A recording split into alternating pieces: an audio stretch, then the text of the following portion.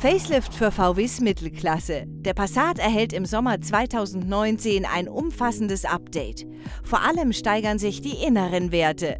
Passat Variant, Limousine und der softe SUV-Ableger Alltrack erhalten bessere Assistenten und neues Online-Infotainment. Beim Plug-in-Hybrid Passat GTE erhöht eine neue Batterie die elektrische Reichweite. 1973 fiel der Startschuss für Volkswagens neue Mittelklasse.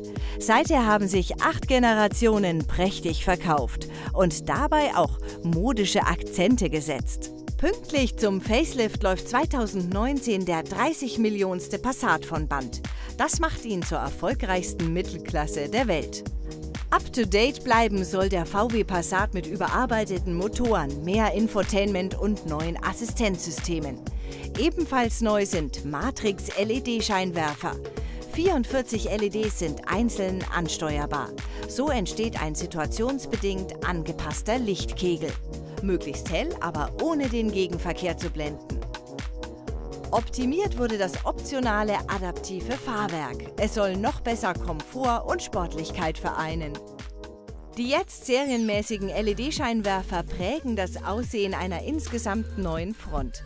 Sie ist stark an die elegante Coupé-Limousine Arteon angelehnt. Am Heck des Facelift Passat fallen größere Auspuff-Endrohre und neue Rücklichter auf.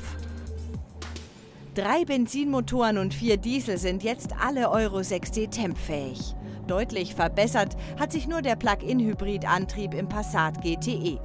Die Systemleistung aus Benzin- und Elektroantrieb bleibt zwar bei 218 PS, aber eine größere Batterie verlängert die rein elektrische Reichweite.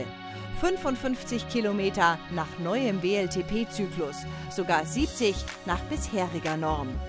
An einer Haushaltssteckdose hat der GTE nach gut sechs Stunden wieder volle Elektrokraft, an einer Wallbox nach vier Stunden. Bisher waren für den Plug-in-Hybrid rund 45.000 Euro fällig. Die Preise für alle Passat-Varianten nach dem aktuellen Facelift stehen noch nicht fest. Los geht's wohl auch künftig bei rund 32.000 Euro.